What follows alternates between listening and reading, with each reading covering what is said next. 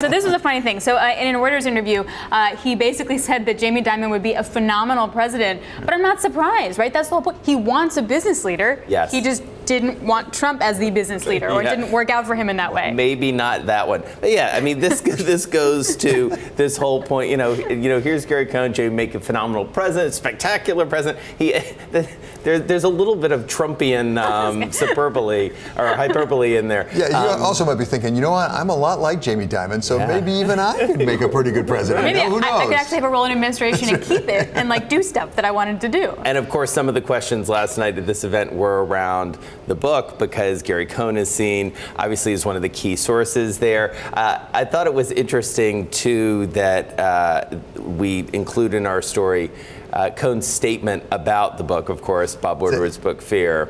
Well, the thing that I love about this I think is a master class in how you handle one of these things. Yes. Because Yes, we know the whole thing is he supposedly stole papers off the president's desk. He was asked about it and he said, it does not accurately portray my role in the administration. Now what he says is, I've said everything I have to say. But he- I said that already. it. It's already- And he no, didn't no. deny it. But he says, I've already said it. I've already addressed this.